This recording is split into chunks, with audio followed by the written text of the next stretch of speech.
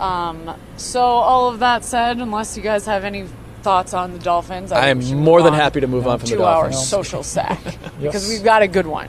Um, the Hollister twins, Mm. Jacob and Cody, with some Aaron Mm. and guitar. Um, there's a full, I think it's like a two minute and 30 second clip, but let's just play the a little bit of that right now.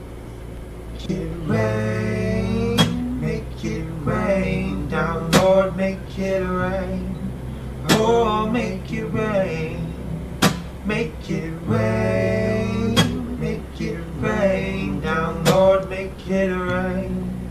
Oh, make it rain. And the seed needs the water before it grows out the ground.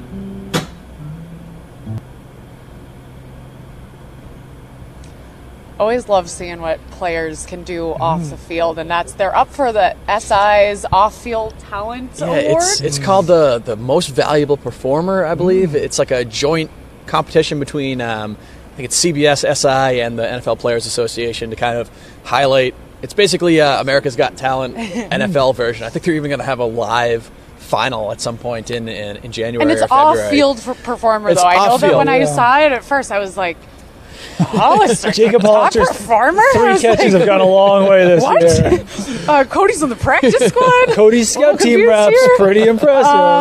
Uh, but yeah, But so then all I these. saw that, and that is seriously impressive. The vocals, the Yeah, they were good. I mean, they're Twin twins, so. I'm sure they have some. They got that crazy twin connection. yeah, and so really translates well But- in the musical yeah, world. yeah. They're up against. Um, Sound just like Ed Sheeran too. Yeah, that was it's good. a lot of uh, a lot of musical acts. Um, I think who else? Uh, Max Garcia, the lineman, uh, was singing. Uh, Justin Bethel plays the drums.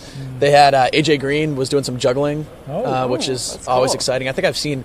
I think he had they had a, an E60 on him or something a while a while back about how AJ Green loves to juggle. But yeah, I guess they're gonna do. I, I think it's a one one nominee per team um, over the next couple weeks, and winners get to go on to, to some fancy competition. So Can you pretty- guys juggle?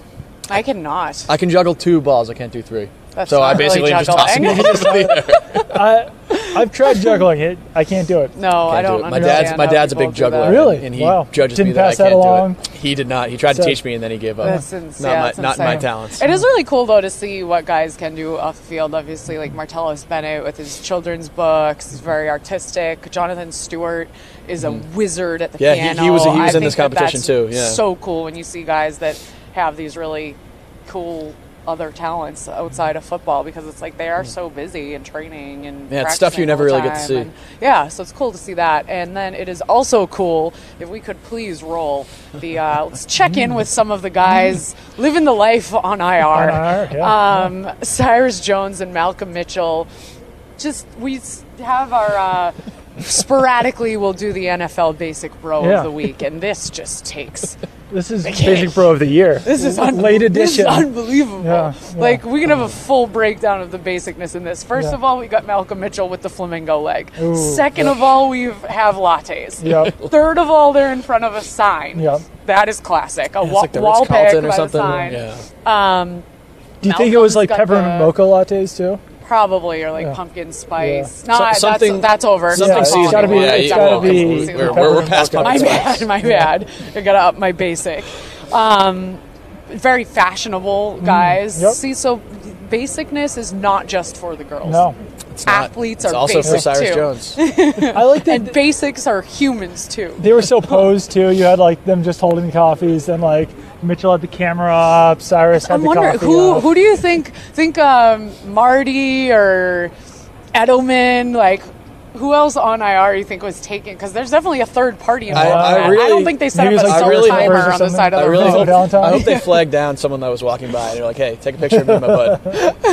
you know, that actually makes me think there's a lot of guys who were drafted last year on IR this year. Cyrus Jones, Malcolm Mitchell, Vincent Valentine, and a lot of guys this year on IR too with um, uh, Garcia and Derek Rivers and uh, who's the oh yeah that's about it. Jelks yeah. is on the, uh, the Yeah, NFI. Keionta Davis on NFI. Yeah, they got a long, a lot of young injured players Yeah, in this Patriots yeah. team. It's a good, thing, good to see they're enjoying Yeah. some extracurricular Absolutely. activities Yes. as they're on the mend.